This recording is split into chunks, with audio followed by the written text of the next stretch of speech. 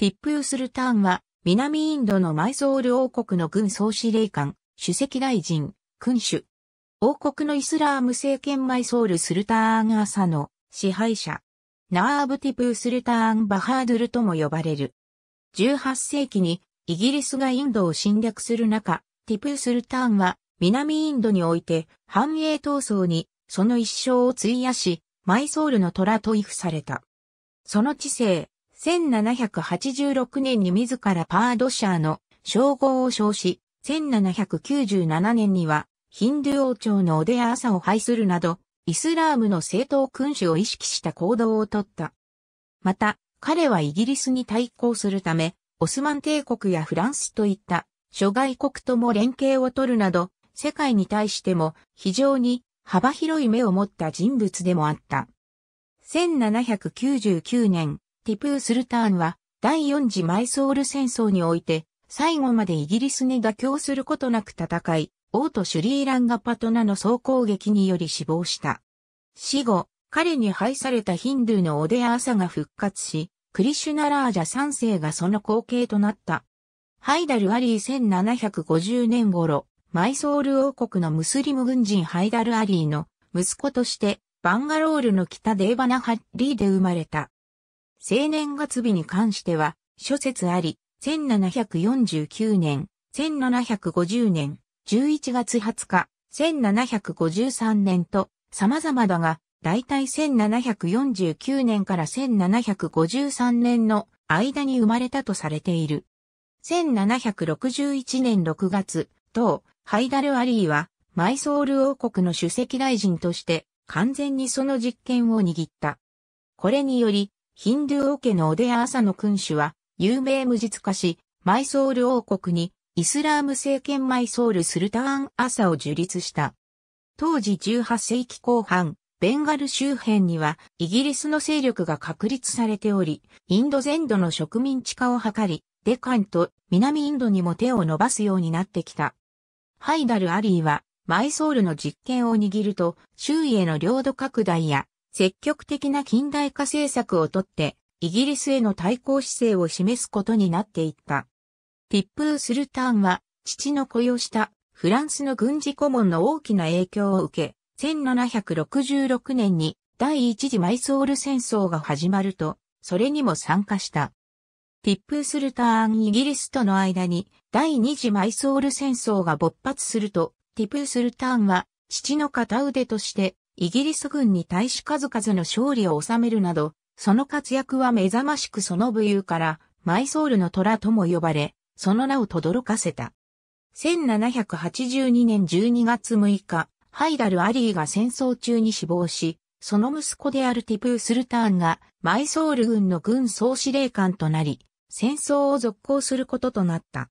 また、12月28日、彼は父の後継者であることを宣言し、父の政権マイソール・スルターン・アサを引き継ぐこととなった。1783年1月2日、ティプースルターンはマイソール王から父の保持していた王国の最高位である主席大臣の地位を与えられ、その地位を事実上接収するところとなり、名実ともに王国の支配者となった。また、5月4日にはビダヌールのハイダルナガル大使に任命された。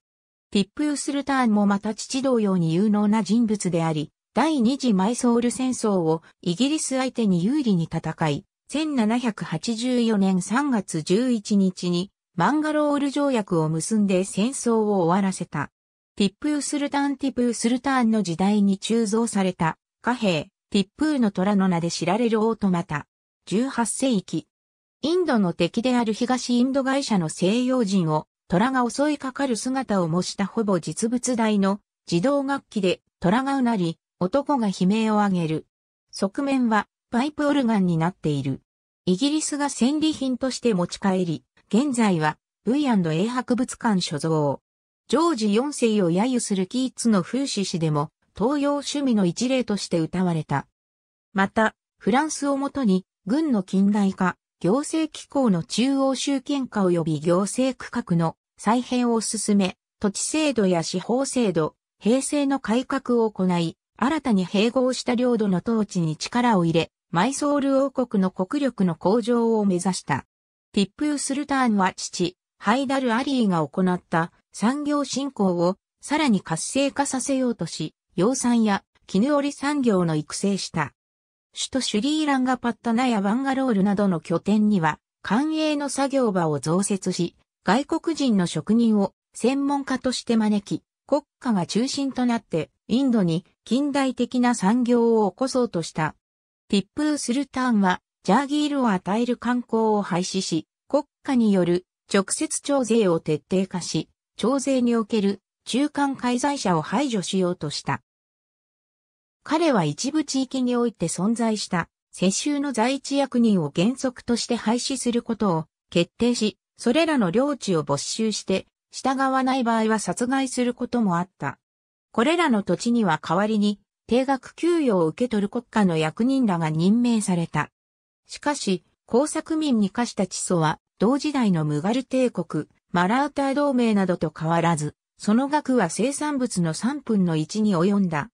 とはいえ、直接徴税化により、在地領主の不法な付加税の徴収には歯止めがかかり、免税にも積極的であった。インド総督であったジョン・ショアは、彼の支配地の農民はよく庇護され、彼らの労働は奨励され、かつ正当な見返りが保障されているとし、また別の人物は、よく工作されており、勤勉な住民に溢れ、町は新しく作られ、商業が発展しつつあると記している。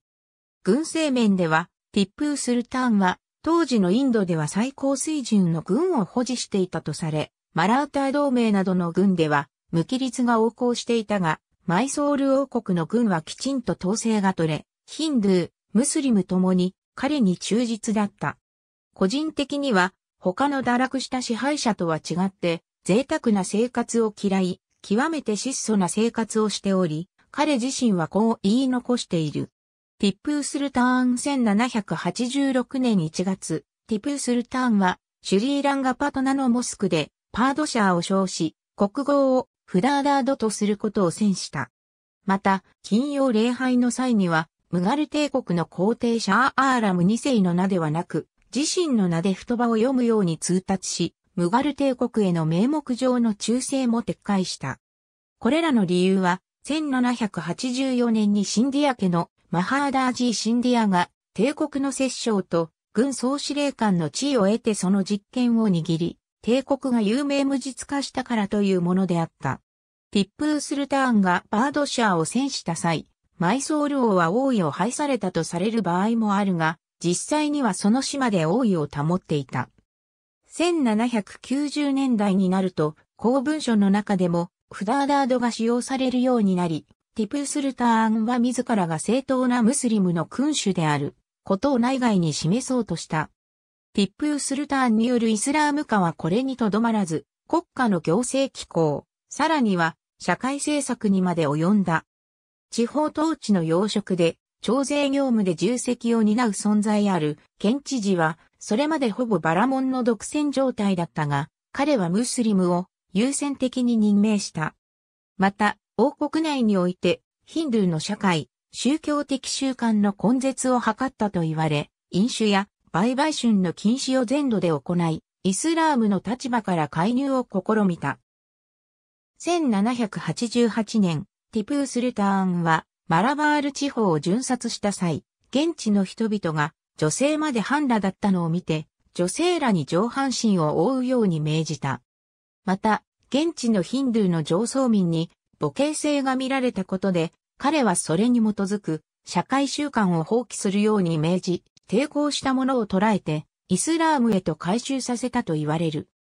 各地の都市名もイスラーム風に改称され、首都、シュリーランガパトナは改称されなかったが、ティップスルターンの記事、デーバナハッリがユースファーバードとなったのを、はじめ、諸地方の多くの都市が改称された。このように、反ヒンドゥーの立場を取っていたティプースルターンであり、彼を宗教的な共振者として書く者もいた。だが、彼は、ヒンドゥーの政党を代表すべきとも言えるシュリンゲーリの僧侶ともよく交流し、財政援助をしたばかりか、国家鎮護のとも儀執行まで依頼している。また、1791年にこの寺院のシャーラダーメガミ像がマラーターの騎兵に略奪されると、彼はその再建費用を援助さえしている。ティップー・スルターンはシュリンゲーリ寺院や他の寺院に対しても定期的に効能を行っており、そのうちの一つ、シュリーランガナート寺院は、首都シュリーランガパトナの宮殿から200ヤードも離れていなかった。彼の時代にはかつてアウラングゼーブが行った大規模なヒンドゥー寺院の破壊などは見られなかったのも、また注目すべきところである。実のところ、ティップー・スルターンの反ヒンドゥー的な政策のほとんどはイギリスによって記録されたものであり、彼は実際は多宗教に解明的で理解と寛容の立場で接したのではないかと言われている。ただ、親衛的やあるいはそれに協力すると思われるヒンドゥー及びキリスト教徒に対しては断固とした態度を取ったのではないか考えられる。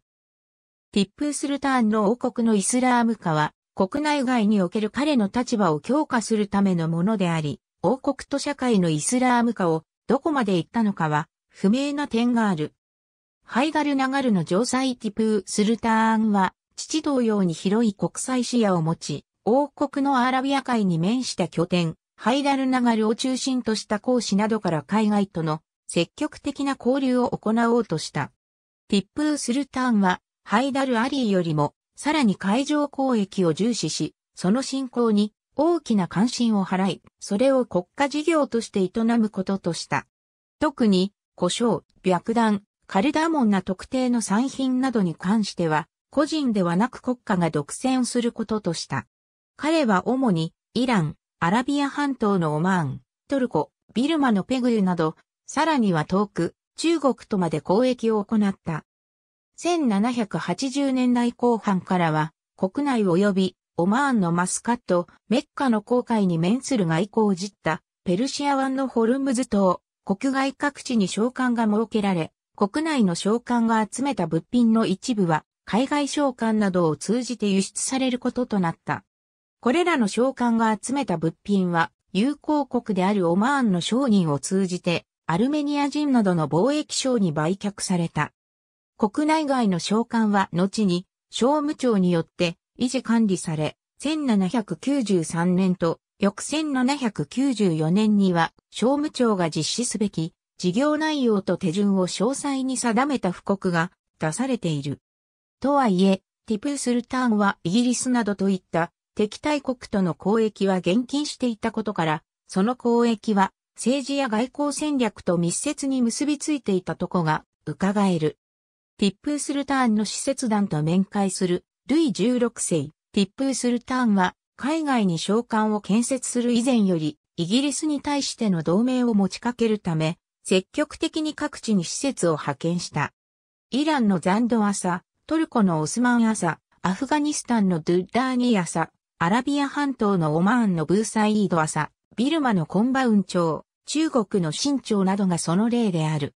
また、ティプースルターンはイギリスとの戦争において兵力を提供してくれる相手を求め、それらと政治的、軍事的同盟を結成することを重視した。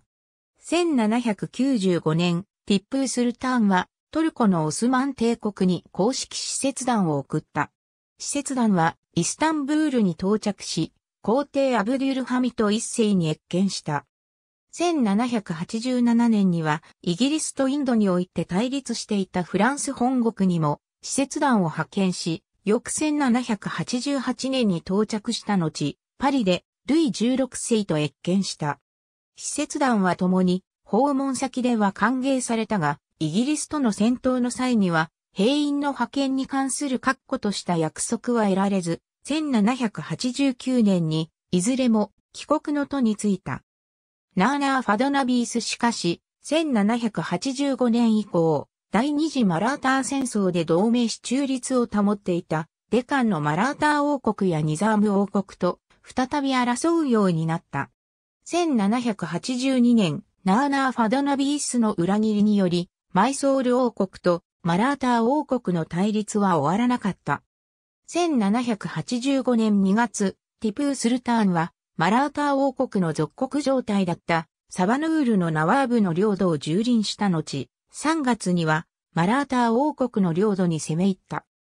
ナーナー・ファドナビースは、この侵略に苦戦し、ニザーム王国のニザーム・アリー・ハーンと同盟を組み、これに対処した。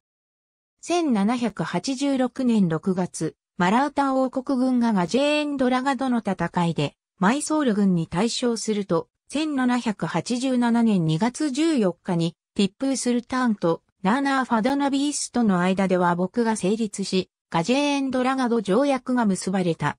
それでも、ナーナー・ファドナビースは、マイソール王国の脅威を恐れ、ニザーム王国ともに警戒に当たり続けた。シュリーランガパトナ攻防戦で戦うティプー・スルターン1789年12月、ティプー・スルターンがケーララ地方を侵略し、トラバンコール王国と交戦状態となったが、それが第三次マイソール戦争の火種となった。1790年5月24日、イギリスはそれを口実に宣戦して、マイソール領に侵攻し、6月1日に、イギリス、マラーター王国、ニザーム王国の三者同盟が成立した。一方、フランスは前年のフランス革命により兵を出せず、オスマン帝国はロシアとの戦争によりイギリスと結んでおり、マイソール王国は不利を強いられた。チャールズ・コーン・ウォリスが二人の息子を預かろうとしている。さらに、1792年2月6日から2月24日にかけて、マイソール王国は、イギリス、マラーター王国、ニザーム王国の軍に、シュリーランガパトナを包囲され、マイソール王国軍は2万人の死者を出した。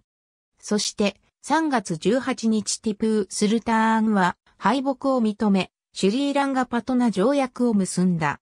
彼はトラバンコール王国、コーチン王国などを除くケーララ地方全域をはじめとするマイール王国の約半分の領土と多額の賠償金の支払いを約束し、その保証に二人の息子を人質として差し出さなければならなかった。王座に座るティプー・スルターン戦争の敗北により、マイソール王国は甚大な損害を被ったが、ティプー・スルターンはそれでも復興を諦めずに、国内の近代化を続け、様々な統治改革を行った。まず、ティプー・スルターンは、中央政府の大改革を行い、ハイダル・アリーの実権掌握後も続いていた18、省庁制を戦後に改変し、7省庁にすべて統合した。7省庁には、軍の兵隊業務を担当する、軍需省及び、軍の人事を担当する、軍政省、財政の全般を担当する、財務省らが存在した。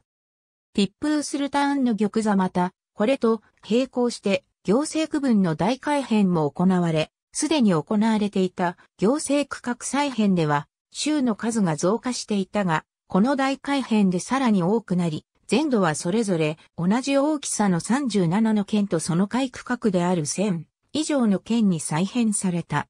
だが、ティップースルターンは改革の中で廃止したはずのジャーギール、姓を復活するという行動に出た。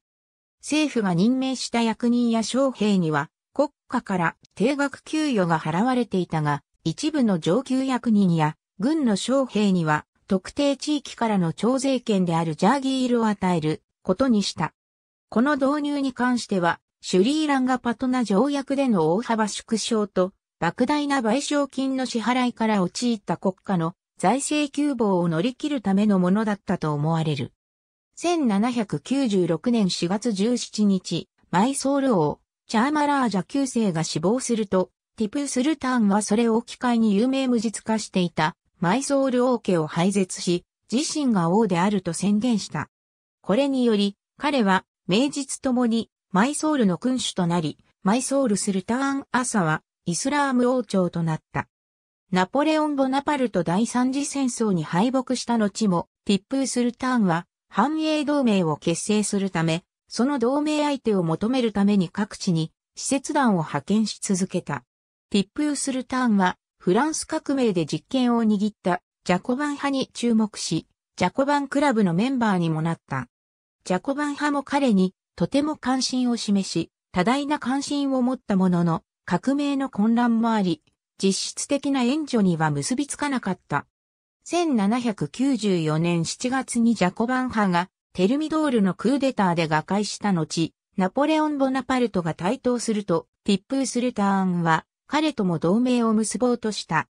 そして、1797年、ティプー・スルターンはそのために、フランス領モーリシャス諸島に、施設団を派遣し、フランス軍へ援軍の要請を行った。だが、これは、モーリシャス諸島に、フランスの大軍が常駐するという誤情報を信じて、踊らされただけであり、その目的は達成されなかった。それだけではなく、イギリスにも海戦の口実を与える結果となってしまった。シュリーランガパトナの攻防戦1799年2月、イギリスはマイソール側がフランスに援助を求めたことを条約違反としてニサームと連携して王国領に侵攻し、第4次マイソール戦争が勃発した。フランスの援軍が到着する前の先制攻撃であった。マイソール王国は交戦したものの、イギリス軍に敗北し続け、同年4月5日イギリスとニザームの軍により、首都シュリーランガパトナを包囲された。包囲する以前、イギリスはティプー・スルターンに降伏を迫ったが、彼は屈辱的な条件で講和を結ぶことを拒否した。彼の返答はこうだった。ティップー・スルターンの最後つまり、イギリスのもとにおいて、完全に従属する反王国の反王として生きる道は、彼にとってはありえないということであった。ティップースルターン率いるマイソール王国軍3万は、シュリーランガパトナで1ヶ月にわたり交戦したものの、5月4日の総攻撃で壮絶な戦死を遂げた。彼の軍勢は最後まで彼に忠実であったという。ティップースルターンの死その後、シュリーランガパッタナは占領され、5月13日にマイソール軍は降伏し、イギリスはマイソール全土を支配下に置いた。ティップースルターンとシュリーランガパトナ包囲戦で運命を共にした者は、軍人だけで6000人に及んだ。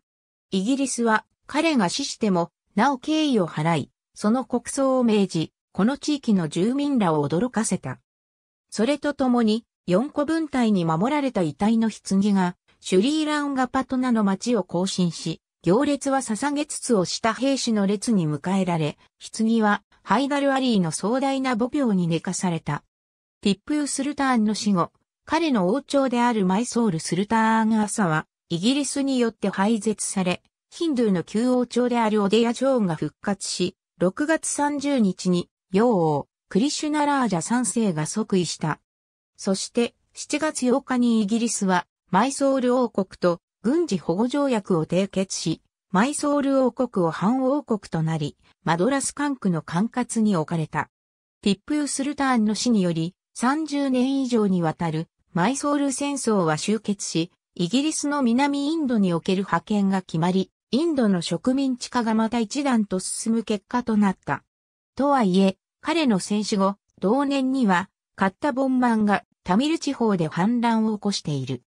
また、マイソール王国が制圧されたことにより、1802年からイギリスは内紛の多かったマラーター同盟にも介入してゆき、第二次マラーター戦争へとつながっていった。ティップー・スルターンの遺体が見つかった場所ティプー・スルターンの棺ティプー・スルターンは当時のインドにあってほぼ唯一イギリスに正面から戦いを挑んで一定の成果を収めた人物であった。彼は不評、砲兵、景気兵で編成された強力な軍勢を駆使し、イギリスと互角に戦った。また、ティプースルターンは多数の言語に寛能な教養豊かな人物でもあり、自国のカンナダ語のみならず、ヒンドゥスターニー語、ペルシア語、アラビア語、英語、フランス語まで喋ることができたという。イギリスに対抗するため、世界の各国と死者を交わすなど、当時のインドの支配者とは違った視野を持っていた稀有な人物だったと言える。ティップー・スルターンは、イギリスにとっては、最大の敵と言っても過言ではなく、彼を典型的な東洋の先制君主だと思い込んでいたイギリス人は彼の死を歓喜した。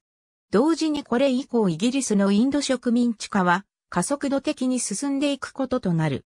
聖戦両面に長じるだけでなく、宗教的にも寛容の立場を取り、戦術したようにシュリゲイリ寺院とはよく交流して、財政的に援助をするなど、その他のもヒンドゥー寺院に対しては、定期的に効能を行っていた。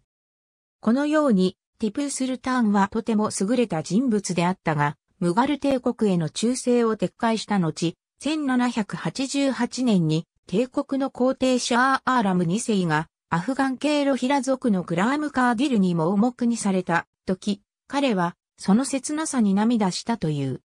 半世紀余りの後のインド大反乱で優先の末に戦死したジャーンシーハン王妃、ラクシミーバーイなどと並び、現在のインドでは民族的な英雄として尊敬を集め、彼の終焉の地となったシュリーランガパトナの宮殿と、その墓所は今でも有名な観光地となっている。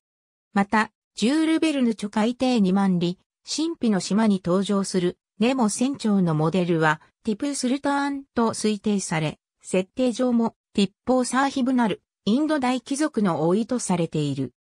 ティップー・スルターンのロケット兵、ティップー・スルターンはイギリスに対抗するため、軍の近代化を推し進めたが、その一つがロケット砲部隊で、この当時、すでにロケット兵器自体は欧州やアジアにも存在したが、紙や金属を素材としていても簡素なものがほとんどだった。王子時代から新技術に対する関心の高かったティップースルターンは、鍛冶屋と花火職人に命じて、飛翔体を本格的な構成としたものを製作させた。